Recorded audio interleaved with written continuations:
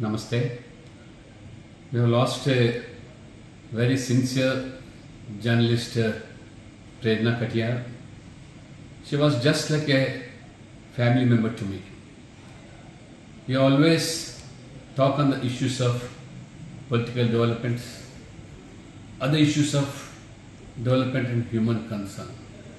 Recently, when I became Rajya Sabha member from Uttar Pradesh, not only she congratulated me, but also felt very happy that one of our family member itself have become MP. I went to her house and met her family members. After that, she has visited my residence at Delhi also on various occasions for interviews and recent political developments.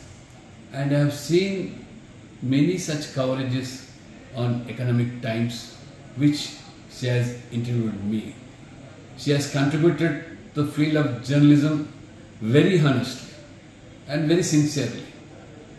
Undoubtedly, she was an, a really a helpful hand to the economic times and for the last two decades she was in the field of journalism. Have lost someone was just like a, my family member. I pay my deep felt condolences on the sad demise of Prerana Katiyar.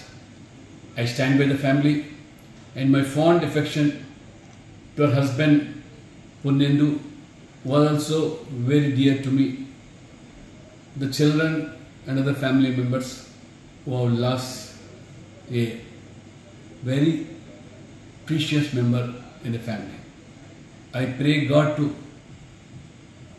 give courage to the family members, the bereaved family members who have lost not only a life partner to Purnendu and mother to the children, give courage and see that they stand and live to the ideals of uh, Prerana Kateji.